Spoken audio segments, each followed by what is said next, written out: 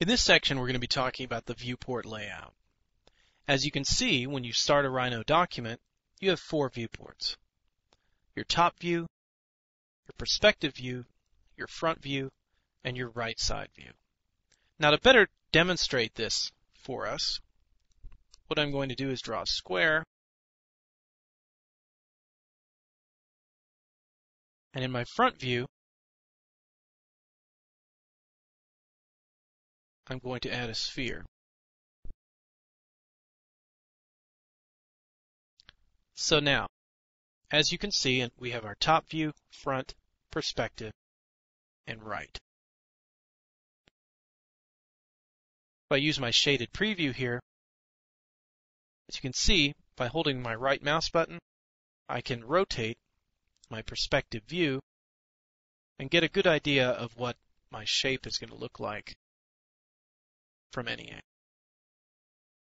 The right view, again, if I hold the right mouse button down, my shaded preview continues to each viewport I select. Now this object looks the same from the front and from the right side. From the top,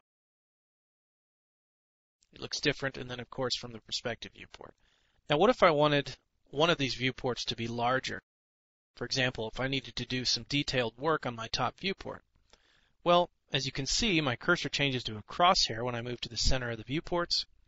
I can then hold my left mouse button and drag to increase the size of my viewport. This can be done any way you like.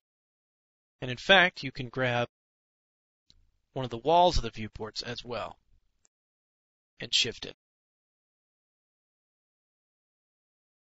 What this will do is compress the size of the remaining viewports and expand the viewport of your choice. Now another thing that I can do is hold my left mouse button on the word right or the word perspective, for example, I hold down the left button, I can actually lift the viewport out of there and move it around. So in a nutshell, the viewport layout system is extremely customizable. In particular, what you will find yourself doing is grabbing at the center, like this, and just expanding whichever viewport you happen to be currently working on. Now I'll go to New. We're not going to save changes. I'll pick no template, and we're back to where we started.